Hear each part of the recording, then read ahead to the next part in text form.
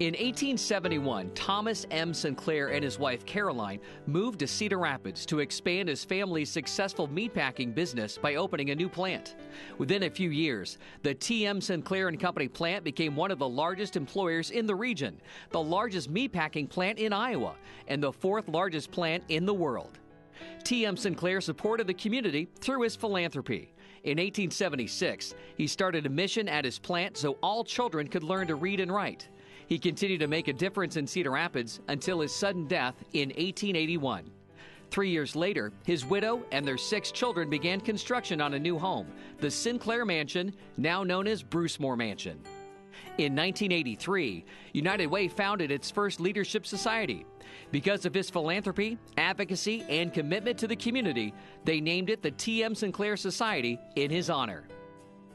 Now, this particular society is dedicated to upper level giving for the United Way. When I started, I think we had three members. And so I naturally called on all my friends. We met at my home. We talked about what our thoughts were on the T.M. Sinclair Society. I had a list of like 500 names, and I asked them to please choose 10 and go out and solicit them and get back to me in three weeks.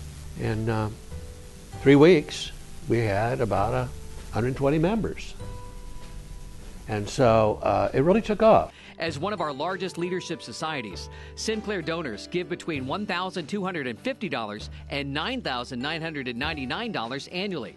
Today, the Sinclair Society has grown to more than 1,000 members, with total donations accounting for nearly $2 million each year. The reason that we continue to renew our Sinclair Society status is because needs never go away in this community. There are so many things and so many people that need that extra helping hand, both in a preventative way and in a problem solving way, and that's really important. I think that the United Way is the best instrument the best organization that we have in this community to help the people that need help. I believe United Way makes Cedar Rapids a better town to live in.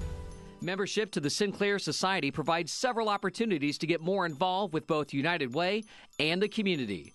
If you are interested in joining the TM Sinclair Society, please contact us to learn more.